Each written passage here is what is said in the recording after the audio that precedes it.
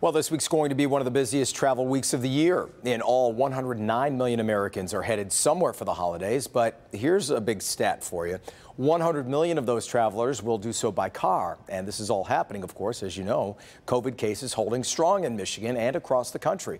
Grant Hermes along the border tonight where new requirements are going into place. Good evening, Grant. Good evening, Jason. Those requirements will take some extra planning if you plan to cross the border. Canada saying you need to get tested three days before your trip because they expect these lanes down here to be very busy by the end of this week. With thousands of Michiganders planning on traveling this week, there are fears they may be carrying more than their luggage.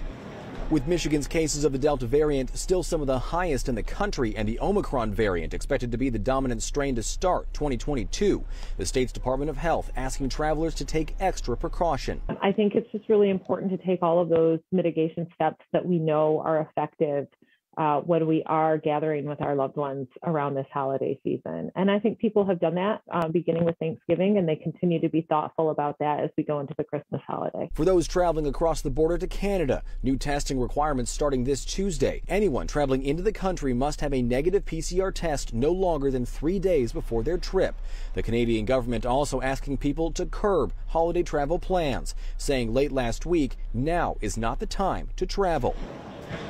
But at Detroit's Metro Airport, travel was in high gear. Well, we're, we're fully vaccinated and boosted, and we're very careful and always wearing masks and social distancing. And um, we're going to hope for the best. It's just so important that everybody do what really is needed to help us get over this. Another holiday season with the worry of spreading more than holiday cheer. Let's go back over some of those details of those new testing requirements. Those tests have to be done within three days of your trip across the border. You have to use the ArriveCAN app on your phone to log that test and your vaccination status. Now, there are also exemptions, including for kids five years old or younger. We'll have a link to those exemptions for the Canadian government on our website and clickondetroit.com. Jason? Yeah, Grant, what's the word on air travelers who are headed to Canada?